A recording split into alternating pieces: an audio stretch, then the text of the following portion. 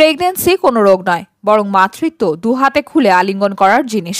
এ কথা বারবার চোখে আঙ্গুল দিয়ে দেখিয়েছেন শুভশ্রী। নায়িকার অন্তঃসত্ত্বা হওয়া মানে ক্যামেরার আড়ালে থাকা নয়, প্রমাণ করে দিয়েছেন শুভশ্রী।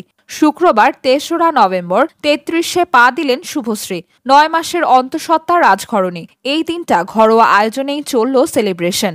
এদিন সকাল থেকে শুভশ্রীর শুভ দিনের ঢালাও শুভেচ্ছা। টলিউড সেলেব থেকে অনুরাগীরা অভিনন্দন আর শুভেচ্ছা বার্তায় ভরিয়ে দিয়েছে হবু মাকে। তবে সবচেয়ে খাস বার্তা এসেছে রাজ চক্রবর্তীর তরফে। শুভশ্রীর নানা মুডের ছবি পোস্ট করে মাই লাভের জন্য রইল রাজের আদুরে বার্তা।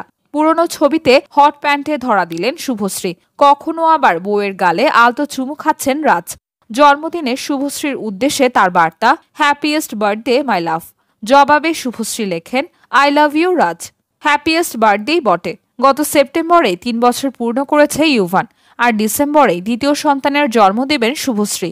শুরু থেকেই রাজ শুভশ্রী ঠিক করে রেখেছিলেন, ইউভানের খেলার সঙ্গে আনবেন তারা। সবটাই হয়েছে পরিকল্পনা মাফিক। জন্মদিনের ঘরোয়া পার্টিতে আট শার্ট নীল গাউনে ধরা দিলেন শুভশ্রী। ভেলভেট গাউনে সুস্পষ্ট তার বেবি বাম পার্টি মেকআপে পাওয়া গেল হবু মাকে। কানে ঝোলাদুল পায়ে গুচির জুতো, স্মোকি আইস আর গ্লসি লিপসে দেখা মিলল নায়িকার। ছেলে ইউভানকে নিয়েই জন্মদিনের কেক কাটলেন শুভশ্রী। সেই ভিডিও ইতিমধ্যেই ভাইরাল সোশ্যালে।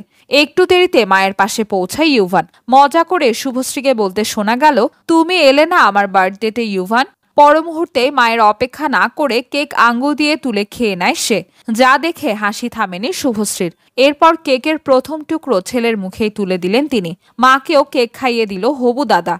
কয়েকদিন আগেও ডান্স বাংলা ডান্সের শুটিং সেরেছেন শুভশ্রী। আপাতত মাসখানেকের বিরতি।